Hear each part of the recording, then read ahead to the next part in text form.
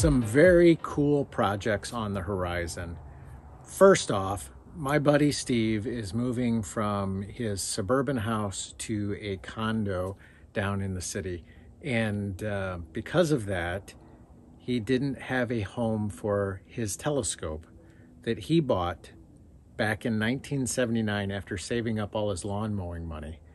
So he offered it to me to take good care of it, and particularly as we're looking at moving out to some land, uh, having a place to be able to utilize it. So I was honored and thrilled and uh, took it on. Hasn't been used in a little bit, and so one, I have to figure out how to use it. And the secondary thing is the foam that holds all the lenses um, has kind of deteriorated over time. And so I'm going to have to clean up those lenses and figure out um, the best way to clean those lenses. And then I think we'll get it out and start playing with it. Um, but first, it's it's actually a lot like when I was a tuba player. The mouthpiece is the most important thing. You got to take good care of your mouthpiece. So without the eyepiece, you really can't look through the telescope. In addition to that, Steve also gave me his gas smoker. So I'm super excited to try smoking large quantities of meat. So um, already cluttered workbench. Um, my lady friend thinks maybe I'm going into the catering business, which I'm eager to test out some recipes on. But it, I went and picked it up literally three days before the start of Green Week. So as a family, first week of every month, we don't eat any meat. I'm calling it Green Week. So um, while I could smoke some vegetables, it seems uh, my first one should be some triumphant meat. So look for that video next week when I get a chance to test out the smoker. Then some very exciting stuff. So on top of Steve uh, gifting me those, I have finally purchased a new phone. I've been using the old iPhone 7 for quite some time.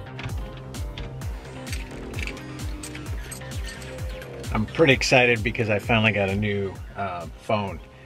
I've held this last one for probably five years. It's been quite some time.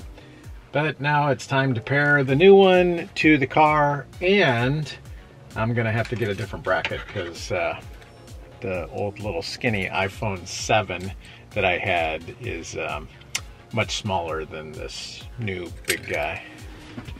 You can see the size difference between the two of them. Looking at the camera on the new iPhone 12, I finally pulled the trigger and said, okay, I've got to get one.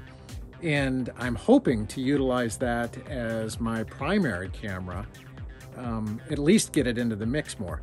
That's going to change up my workflow significantly because right now I record things primarily on the Canon uh, G7X or on my GoPro, and then I pull out the SD card and I download the raw footage to a hard drive, then I put it into Final Cut Pro, then I edit it, and then I publish the final product. This, I've got to figure out the workflow of storing 4K video on the phone, getting it to the computer, getting it in a file, and then getting it saved somewhere else, or deleting it, or figuring out what I'm going to do with that. So that's going to be a good challenge.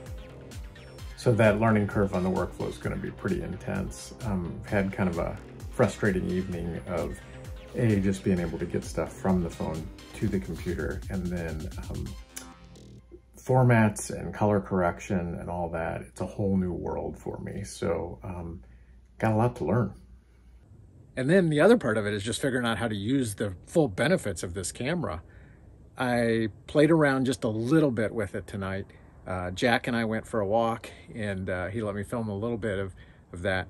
Um, the three different lenses have three different focal points, so I can play with that. It can shoot in high definition 4K and 30 frames per second or 60 frames per second.